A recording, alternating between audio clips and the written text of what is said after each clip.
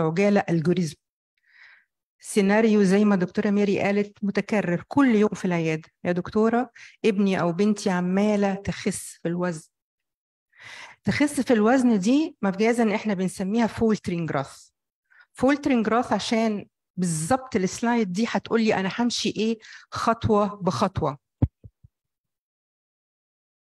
أول حاجة أعملها لما يجي لي عيان عمال يخس كتير لازم أول حاجة أبتدي بيها إن أنا exclude أي morbidity أي endocrine renal cardiac disease لازم exclude قبل ما نهري ونقول ده ابنك ما بياكلش أو ابنك كذا اللي هي التقسيمة بتاعت أنا organic ولا non organic cause عملت exclusion لأي organ أنت ليه بت... لا ثواني بس عشان بنظبط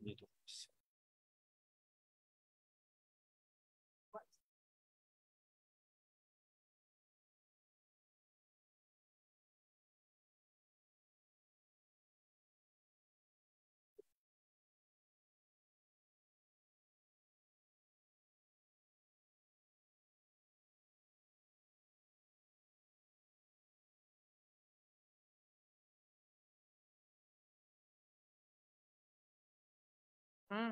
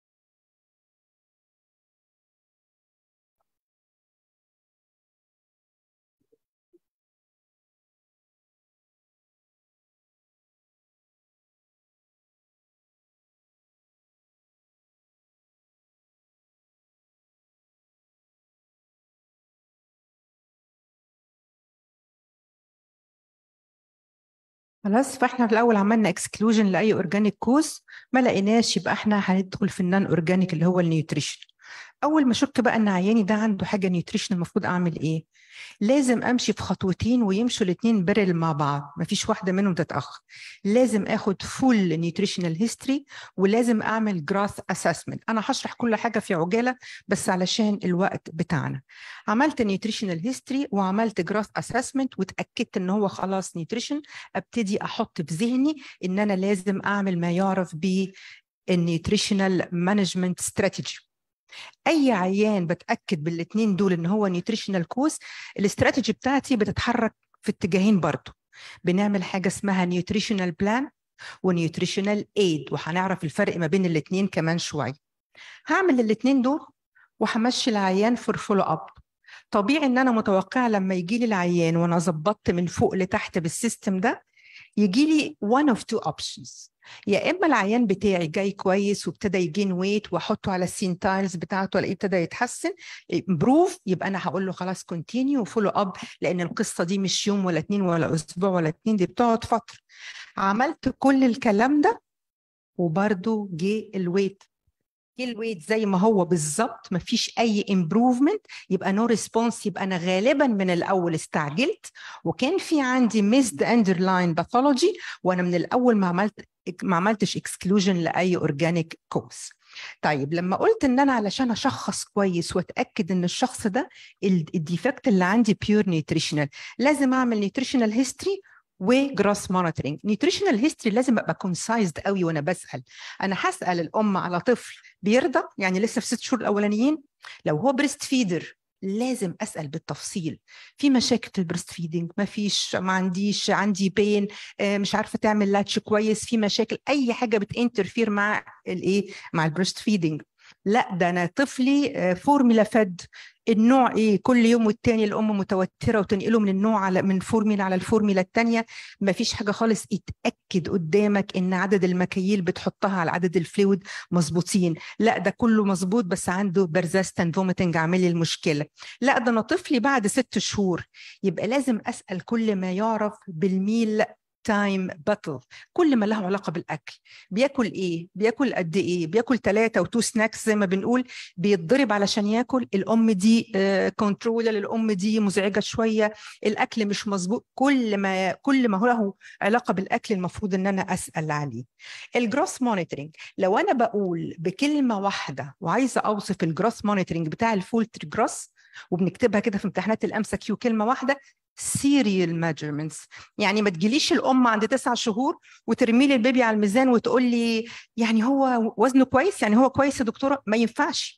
لازم أقيس مرة واثنين وثلاثة وأحطه على ال graph علشان يديني الشكل التقليدي بتاع ال faltering growth اللي هو mainly ال height بلاقيه مش متأثر قوي ال length بينما الاقي ال weight عمال ال- ال- القرايات بتاعتي شهر عن تاني عمالة ت falter وينزل centile أو اتنين أو ثلاثة according لل severity بتاعت الحالة بتاعته. بالاثنين دول بقدر أحلف واقول آه ده nutritional cause طب هعمل إيه؟ عرفت إن هو nutritional cause ببتدي أحط ال therapeutic plan بتاعي. ال therapeutic plan بتاعي جزئين. حاجة اسمها nutritional plan وحاجة اسمها nutritional aid ال nutritional plan دي بعملها دي ال base بعملها في أي حد طبيعي مش طبيعي faltered مش falter لازم أبتدي بيها. والحقيقة الحالات ال mild وال moderate بتمشي بال nutritional plan لوحدها. ال nutritional plan اللي هي عبارة عن إيه؟ اللي هي قبل ما ابتديها أو قبل ما أقول الشقين بتوعها لازم أظبط فيها الكالوري لأن defect عندي هنا كالوري. الأم لازم تعرف إنها long term هي مش هكتب النهارده تجيلي الأسبوع الجاي تقولي ما زادش يا دكتورة. ده long term إحنا بنقعد شهور في القصة دي ولازم الايه ال growth monitoring على طول. جت ال NICE guideline وهي بت- بتتكلم على ال faltering قالت يا جماعة خدوا بالكم ده أنتوا لازم تتحركوا في حاجتين. فيما يعرف بال food choice وبال drink choice ال food choice اللي إحنا لسه قايلينه وعارفينه وكل الناس عارفاه والدنيا كلها بتتكلم عليه. إيه علاقة ال drink بيها؟ ال NICE أخدتنا بالنا إن في أربع حاجات كفيلين لوحدهم يعملوا faltering في ال growth لل baby اللي هو إيه؟ قالت لنا يا جماعة اوعوا تستغنوا عن exclusive breast feeding لمدة ست شهور. اوعوا تدوا fruit juice قبل سنة. اوعوا تزودوا ال milk intake بعد سن السنة عن 550 ملي. اوعوا تدوا home made fresh juice أكتر من مرة في اليوم. home made fresh juice بتهيألي الجملة دي لا قالت جهينة ولا قالت نستله ولا قالت شاليمو ولا قالت علب كلها preservative ولا ثلاث أربع مرات ولا قالت اصله مش عايز ياكل ياخد له علبة عصير أفيد. لا مش أفيد خالص ما ياخدش. اذا ال drink choices من الحاجات المهمة قوي بالنسبة لي. nutritional aid اللي هي كأني بستعين بصديق. عملت الكلام ده كله والدنيا ما اتحسنتش ما قامتش. يبقى هفضل ماشي بال nutritional plan بتاعي وأزود عليها plus or minus واحد أو اثنين أو ثلاثة ثلاث اختيارات قدامك. يا نعمل food fortification طبعا دلوقتي الحمد لله بقى عندنا ال sachet ال fortifier ابتدت يبقى فيها human milk fortifier بعد ما كانت كلها bovine هجمع الفورمولا أو pumped breast milk وأفتح عليها ال sachet وأبتدي إيه؟ أديها لل baby تديني high calories أنا هعمل high caloric formula يعني إيه؟ الفورمولا العادية بتاعتنا كده بسرعة المكيال منها ال 30 مللي بيدوني 20 كيلو كالوري. لا ده أنا عايزة المكيال يديني 30 يبقى تديله ال high caloric formula أو اديله ال ONS اللي هي ال oral nutritional supplement برضه عبارة عن powder غالبا وبينضاف بس ما تتاخدش sole nutrition تتاخد كسناك والمفترض إنها ده أو ده أو ده على حسب ال severity وعلى حسب الايدج بتاع ال baby لما بيمشي مع ال nutritional plan تبقى غالبا الدنيا إن شاء الله تتظبط. هرجع تاني. أنا عملت nutritional history وعملت growth assessment حطيت ال nutritional management strategy بتاعتي اللي هي ال nutritional plan ما نفعتش زودت عليها ال nutritional aid و follow up العيان بتاعي. يا إما improve وأكمل بنفس ال system سواء plan أو سواء aid لو أنا عملت aid أكمل بيه و follow up و continue معاها. لا ده ما فيش response بعد كل اللي عملته. يبقى أنا أكيد زي ما قلنا في underlying pathology وفي organic cause وأنا من الأول ما أخدتش بالي و run for nutritional cause and thank you.